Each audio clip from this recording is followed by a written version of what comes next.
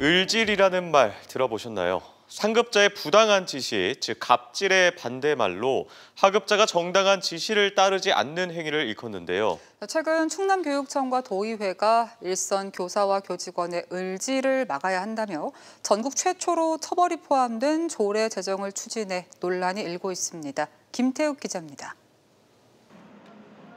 지난 3월 충남교육청은 일선 학교에 갑질 을지 근절 서약서를 공문으로 하달했습니다. 상급자의 정당한 의사결정과 하급자의 자유로운 의견 개진을 함께 존중한다는 내용으로 서약자가 서명하도록 했습니다. 그런데 교사들이 참여한 익명 채팅방에서는 학교에서 을지를 하지 않겠다는 어처구니 없는 서약서를 받았다는 비판이 터져나왔습니다. 을질이라는 말을 들었을 때부터 이게 무슨 말장난도 아니고 어떠한 개념인지 혼란이 왔었고 교장 교감 선생님이 업무 권한이 있으시기 때문에 지시를 하면은 선생님들이 부당합니다라고 할 수 없는 상황이 훨씬 더 많이 있어요. 그럼에도 충남교육청 감사관실은 설문조사에서 상급자의 정당한 지시에 따르지 않는 경우가 많은 것으로 조사됐다며 충남도 의회와 함께 을질 제한 조례안 제정을 추진했습니다. 종합적인 어떤 균형 감각 있는 그런 어떤 대책이 필요하다.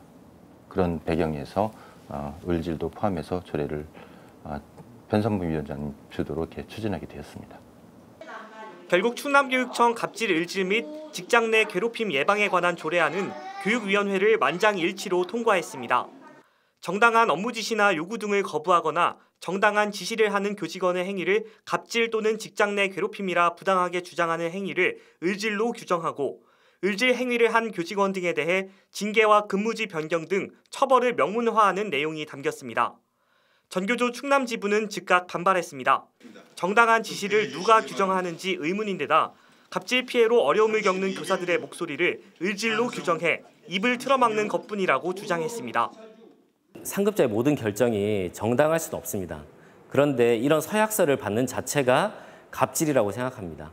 갑질 신고 이런 것들도 오히려 을질로 치부돼서 교사들의 목소리가 더 위축될 수 있고 전국 최초로 교사와 교직원의 을지를 규정하는 내용을 담은 조례의 제정 여부는 오는 24일 충남도 의회 본회의에서 결정될 예정입니다.